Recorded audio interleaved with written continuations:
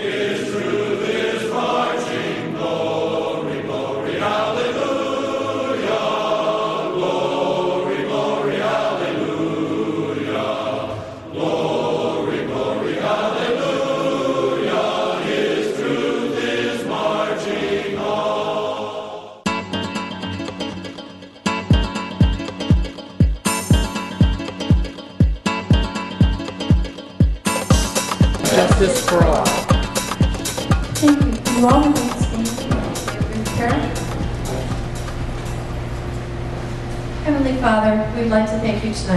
country. We'd like to thank you for the members and the friends of South Florida Conservative. We'd like to also pray for our leaders that you would guide their decisions, that they may remember the beginnings under which this country was founded, and follow those who followed you as they created these United States. Bless our meeting tonight. Guide our words and actions that they may be pleasing to you. In your name we pray. Amen. Amen. Have a seat, everyone.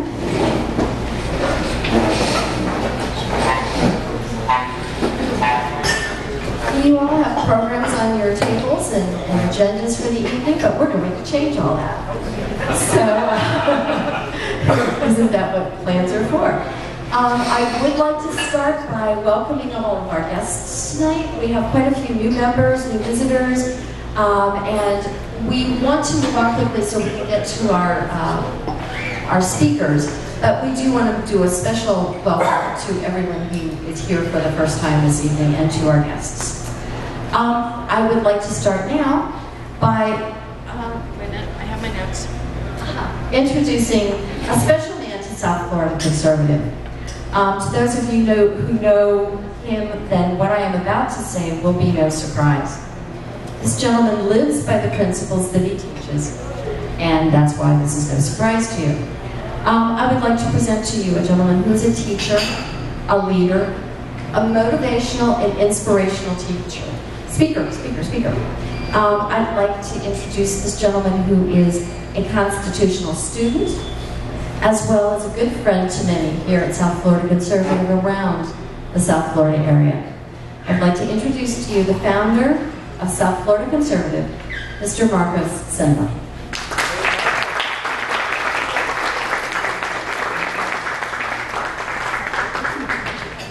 That guy she was speaking about anyway? Wow, that's terrific. Whoever that guy is, wow, I'd like to meet him. Folks, welcome tonight. We have a packed slate of wonderful guests who are going to be here for you. Hey, first, before we get really started, I'd like to just take a second. Everyone sitting where you are, let's just take a moment to uh, be quiet for just one moment and reflect on the victims of that atrocious act of war that was known as 9-11. Let's have just a moment of silence for all who lost their lives that day and for all who were left without their family members.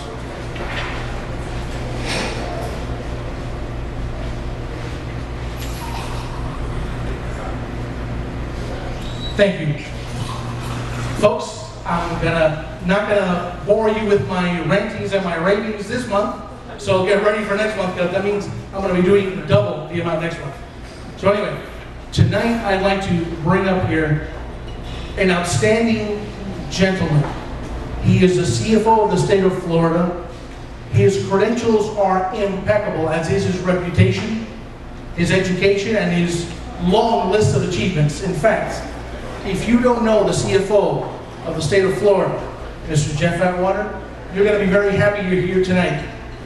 And once you do know about him, you're only going to want to know more. This is a man that, in our humble opinion, you should keep your sights on because CFO, wow, that's a fine, fine achievement and great stature, but I wouldn't be surprised sometime to see this gentleman to higher places and to higher positions because he's just that kind of person.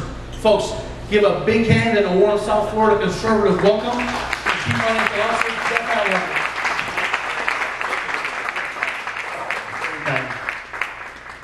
Marcos, thank you. It's very kind. Um, I really appreciate you letting me be with you this evening. And, and I think if I could maybe just share a few comments, and then would it be okay to take questions? I don't want to run, I don't want to take your agenda time. Certainly, that's fine. But I think that would be pretty valuable, and I would want you to, uh, to have the opportunity to ask uh, questions of me. about how, how our state is doing or any other observations that, uh, that we may share together. So uh, first, thank you for the opportunity again. Good to be with you. I would like to be sure that if we haven't met uh, my assistant here uh, in Dade County, that is a right arm to me, Diana Artiga. Uh, Diana, you want to just give away? She is right here. Uh, and, is, uh, is with us every day here in our community and is uh, uh, one trying to keep an eye on me being present and available and responsive as well to everybody. Then I'd also, I'd like to say hello to our, our state representative. Good to be with you this evening. And Ana, good to see you again. Keeping an, eye- speaking, keeping an eye on, keeping an eye on our Congressman David Rivera. Uh, so good to be with you all again. Let me just uh, share a couple things here. We are a, we're at a real, and this doesn't come as a surprise because I think we share a common concern here. We are at a real uh, fork in the road uh, for the country. Uh, and I want to just lay these two things side by side. Uh, Florida has accepted one particular path uh, and, and always tremendous room for improvement. And I would like to be able to give credit to those who have been serving you. And, uh, and then our, our federal government has chosen a very different path at this moment. And, and here's what I would share with you. Florida, uh, fifth largest unemployment rate in the country. All right, so 10.7%. We have uh, 23% of all residential mortgages, given that kind of unemployment, are either past due or in foreclosure. So almost one out of every four homes. So the prop, so when that many homes are in foreclosure, what is happening to the value of the property? Well, for a single family trading homes here in Florida five years ago, the average selling price between a buyer and a seller was $258,000. Now, five years later, it's $131,000. So when that happens, then you know what the next point would be is that 46% of all of our mortgages in Florida are underwater compared to the present value. Now, how could it possibly then be that the state that's hurt worst by the worst financial meltdown since our Great Depression uh, and hurt worse by a housing bubble could then the very same month receive from S&P's credit rating agency an upgrade on the outlook of our future. Uh, first off, I'd say that's pretty extraordinary given the situation. But at the very same month, our country is being downgraded. So there's only 12 states in the union that have a AAA rating. Florida is one of those 12. So notwithstanding all that's been happening economically, the fiscal discipline that's been happening has been good and strong. And again, I want to just say, always room for tremendous improvement. But compared to every other state being hit so tough, that's where we stand today. Credit needs to be given to former budget chairman David Rivera and our representative. They are the ones who made these tough decisions. In fact, just last week, Barron's Magazine identified Florida as one of the most fiscally disciplined states in the country. And stating specifically, it was the wisdom in how they balanced their budget, provided for reserves, and found their footing. Now, at the very same time, our, our country is going the completely the opposite direction. But one of the things that was important to us as a state is that years ago, the people went to the ballot box and they placed inside our state's constitution a balanced budget requirement. They mandated, our behavior was, you must balance the budget. You cannot leave town spending money you don't have or running up debt that can't be paid back. So that is real in this state. And that's allowed us to be such a high performer. Now, here would be the problem of going the other direction. California is on the other direction. If California and Florida borrowed $7 billion, which is not unheard of for road construction, university construction, school construction. And both of us borrowed that same money for 15 years right now. The difference between our bond rating, our financial standing in the marketplace because of our discipline would be this. California would pay $1 billion more than Floridians would pay in interest expense for that money. That's what they've done. And every one of us knows that fiscal lack of discipline is a tax on all the people of California. And somehow they still parade around out there trying to convince the rest of us that somehow they are enlightened people for how they've operated. So let me just add a couple more things, and I'd love to take some questions.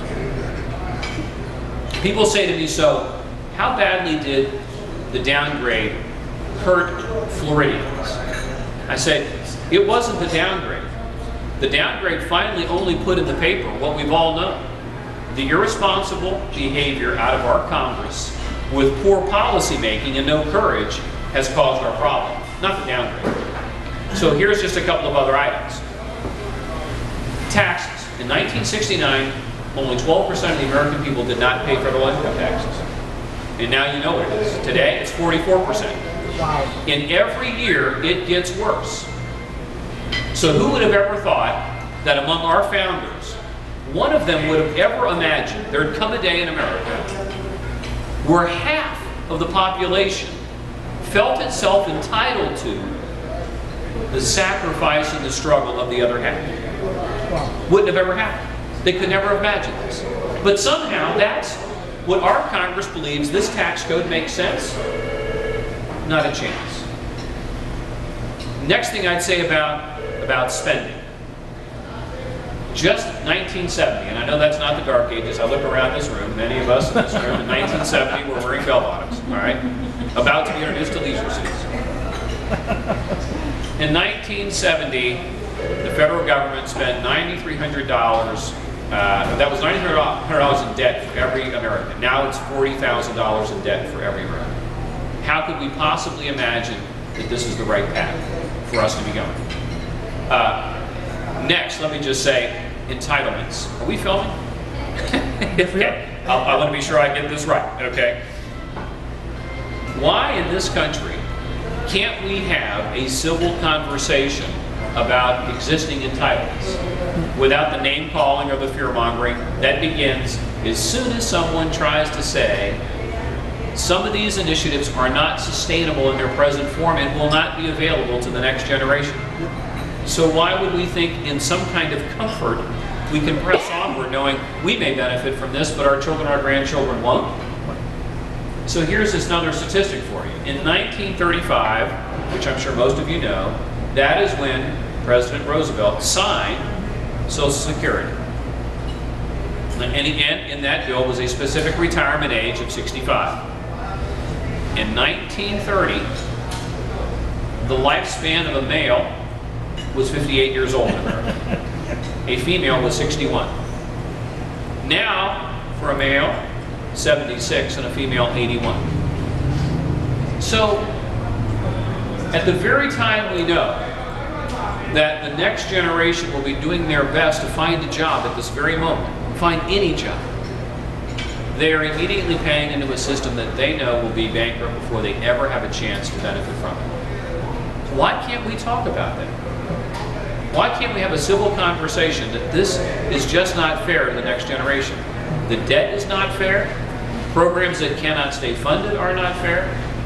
And that's in, in, in the tax system is not fair. So I'll finish on you know the tax system and just say this. People would say to me, you know, what's our answer? The answer is several of these matters. We can't keep spending money we don't have. Uh, it's it's been egregious. It's been uh, uh, frankly been been shameful what we have done. We can't keep borrowing the money and put that debt on our children. And, and lastly, though, it comes down to we are a pioneering people as Americans. We still have to be the place where people want to get up in the morning and go do something and accomplish something. Be the best they can be, achieve something, leave a legacy, make a difference. The tax code that we have is everything but that. And I, and I would say to you this example. Imagine a, a, a, a two different electrical contractors, and I'll just use it this. Imagine two different electrical contractors. One makes a choice to work 30 hours a week, covers their needs. That's what they choose. The other choose to work 70 hours a week. They want to provide for their family. They have children to go to school. They have aging parents. They have health needs that you and I are not familiar with. But that's their commitment. When did we become the country that would say to the person willing to sacrifice and commit themselves to hard work at 70 hours a week that we deserve more of your paycheck than the person who chose 30 hours? But that's who we've become. A tax code that America needs is one that puts in its basis the only thing that we should be taxing for is to fund a federal government that stays within the boundaries of what the Constitution established it to do and no more. It should not be a tax code for the purposes of redistributing wealth. And so that's the kind of uh, that's the kind of tax code that would allow us to turn loose the energy, the innovation, the creativity, and get working again. So I appreciate the opportunity, uh, and, and, and Marcos, thank you very much. Uh, uh, Dan, I want to thank you for the invitation to be here with you, all, everyone tonight as well. Um, and uh, I'm ready to take some questions if that if some if it's okay, or is that all right? Absolutely. Okay, In fire away. I'm going to invoke executive privilege and Okay. take the first one myself. Okay, sure, fire away. As far, uh, of course, we live in Florida, and Florida is known as Hurricane Alley, of course. Right. Uh, and as a homeowner, and there are many homeowners here, one of the most concerning aspects, aside from our home values and everything else, is the state of our homeowners insurance. And the frustration that many feel, because uh, as we feel conservatives, and we are holders of the free market, we're hoping that the state of Florida can somehow establish that, a fairer, freer market for insurance, so that so much of our money is not going down the sink, if you will, in premiums, and we can probably bring more competition that would allow us to be able to choose somebody other than citizens for which, shall we say, the reputation is not sterling, shall we say, to put it mildly, and to be able to give the people more of a choice of insurance coverage so they can go ahead and model that or make that more attainable to their budget. Yeah, right. And this is a, uh, Marcos shared, I know must be a, a tremendously important one for everybody here. Uh, at this point, when, when uh, our Office of Insurance Regulations provides the invitation for insurance companies to come and make their filing to do business here in the state of Florida, people look upon our particularly southeastern coast and our panhandle coast, and to some extent the southwest coast of Florida, and they have established rates that they place in a marketplace environment that they place in, and uh, believing those to be the rates that if category, particular category storms would hit, those would be the kinds of premium that would allow them to be able to withstand and stay strong as a company and pay those claims. Presently, those rates have been far higher than Citizens. And Citizens has been there to try to offer this bridge of time until a, a, a years would pass following 04, 05, just as time passed after Andrew, and that these companies would begin to say, maybe the experiences that we felt in 04, 05 were the anomaly, and we can come back in and begin to lower our rates, and, and, and families would want to be able to once again experience a free market system, that players were here, and they could begin to find a premium that was more suitable. Today, that's the situation we have, is that only but for citizens around this room today, there may be there be no option. There may be no alternative, and that's what it was designed as that that, that insurer of last resort. And so, as concerned as we are today about where citizens' rates are, we're trying to find market players to come back to begin to absorb the housing stock and families and relationships, and once again offer product. Um, we are seeing some of that taking place around uh, the rest of the state. Now, I would tell you an interesting fact, which is of no consolation to those of us who live along Southeast Florida, is that the most recent hurricane models that were done actually are now increasing rates in interior Florida faster than the rates that are occurring on the coast. And the argument there had been historically that these hurricanes never really caused interior damage. But after they looked at 04, 05, that's where the damage, most of the damage was, was in the Orlando, Winter Haven communities.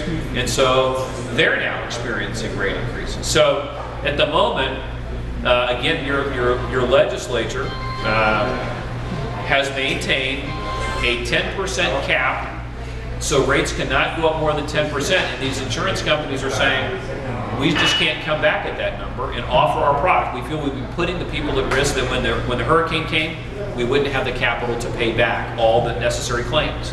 So we're still in a bind and it's going to take us a few more years. That's where we're at at the moment. Yes, sir. My name is Marcus as well. And uh, I read a- an excellent policy brief from the James Madison Institute about the public employee retirement system. And they hi- highlight a lot of problems that go along with it. You know, because of, an example would be uh, the union system, whether it's the firefighter or the police, uh, putting a stranglehold on bargaining with the county and the cities and the state. And I was wondering if there's any uh, substantive gains to rectify the system, because that's one way of bank, pretty much bankrupting uh, the state revenue stream as well. Yeah, it's a very good point. This is, um, let me give you the, uh, those of us uh, here have a, uh, have a duty to you as state officers. And the, uh, there is a significant difference between the uh, state retirement and what is probably uh, uh, the more uh, frequent occurrences in counties and cities and school boards. Uh, in other words, uh, the uh, the the pension plan at the state level it has not reached is what you might consider in a terminology, and again, not not to be anything uh, disrespectful, not as rich in its benefits as what are occurring at the local levels. And, and so the legislature also funded every year on schedule what was necessary actuarially to stay sound. So with, this, with the plans as they were, the funding as it was, the state's plan is in good shape and is not a, a particular or significant burden on taxpayers. However, this past year, the legislature provided to the governor, uh, which uh, I think all of us in this room would probably agree to, that state employees should begin to participate towards that retirement. And so now there is a participation of state employees, uh, myself, all of us included, to contribute towards our, and, and that is the appropriate thing to do. Again, try to imagine a state, which I know that you're experiencing, over 10.5% unemployment. Many people with jobs have no pension plan. They may have a 401k, they may have nothing. And yet, a state employee who you're paying for was getting their full retirement paid for. So now that's changed, and that was done with Rick Scott. And I think he has um, additional measures he'll want to address in the coming legislative session. The far, far more